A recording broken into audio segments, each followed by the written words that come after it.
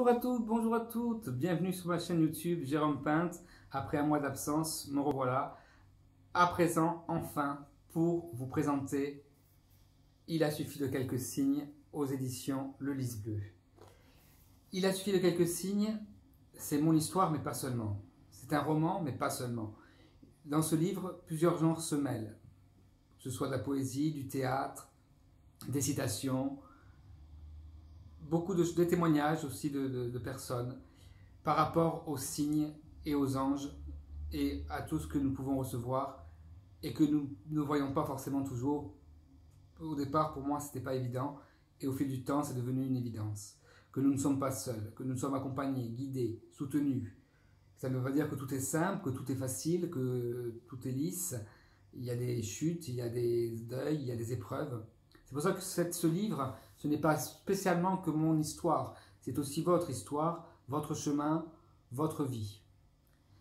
Donc, dans ce livre, il y a des messages, forcément. Il y a des messages pour ceux qui ont perdu des êtres chers et qui n'arrivent pas à remonter enfin, et, à, surpasser cette épreuve. Il y a des messages aussi pour, euh, pour donner de l'espoir aussi, pour dire que la vie, euh, certes, n'est pas euh, un long fleuve tranquille, mais elle peut être belle si on arrive à ouvrir son cœur, à écouter son corps, à écouter son cœur, à suivre son intuition.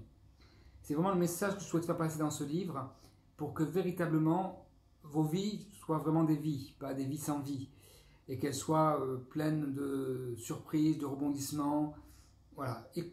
Et, puis, alors, donc aussi, ce que je voulais dire, c'est que ce livre, il a aussi euh, j'ai repris euh, le texte de mon seul en scène euh, de fil en aiguille, où effectivement je raconte mon, mon cheminement, mon cheminement et euh, l'absence de soutien de, certaines personnes qui sont proches, qui sont censées normalement nous soutenir, mais bon, qui ne le font pas et qui, ou qui le font à leur manière, mais qui ne correspondent pas du tout à ce qu'on attend. Donc du coup, est-ce qu'on doit vraiment attendre euh, d'être soutenu euh, pour faire des choses? Est-ce qu'on doit attendre l'assentiment de nos proches pour faire des choses? Ben, Ma réponse est non finalement. Puisque si on attend après les autres, au final, on, ne fait plus rien, on ne fait rien. Je tiens à remercier toutes les personnes qui m'ont aidé, soutenu, et qui continuent de le faire, qui continuent de propager mes écrits un peu partout. Je remercie les éditions de Lys Bleu de m'avoir fait confiance pour ce récit. Et j'en profite également pour vous faire part de mon engagement euh, auprès d'une nouvelle association qui s'appelle les Hôtels du Cœur et qui a pour objet de soutenir les sans-abri.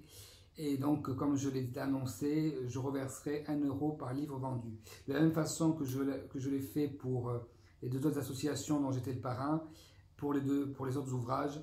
Voilà. Alors, je n'ai pas encore versé puisque je n'ai pas encore reçu euh, les trois auteurs. Donc, forcément, ça ne pourra se faire qu'à ce moment-là.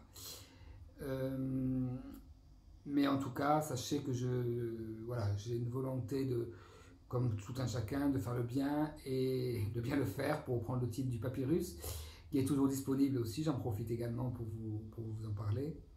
Voilà. Quoi dire de plus par rapport à ce récit? Je vous laisse le découvrir. Je remercie également le père Guy Gilbert de m'avoir mis quelques mots sur ce livre. En attendant, ben, écoutez, si vous avez des questions par rapport au livre, euh, si vous, souhaitez en savoir plus, n'hésitez pas à me contacter sur les réseaux sociaux. Et voilà, n'hésitez pas également à vous abonner à ma chaîne YouTube et à activer la cloche pour être tenu informé des nouvelles, des prochaines vidéos. Voilà, je vous souhaite une belle journée et je vous dis à très bientôt. Au revoir.